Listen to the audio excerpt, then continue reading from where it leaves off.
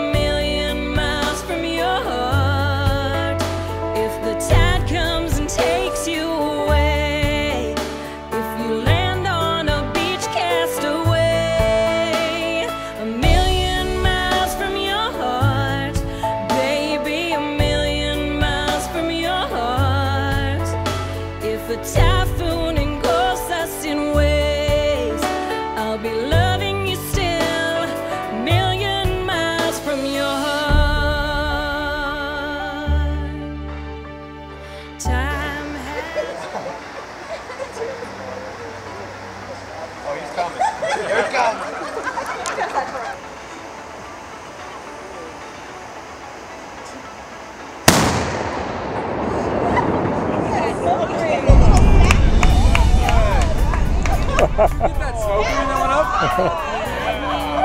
to my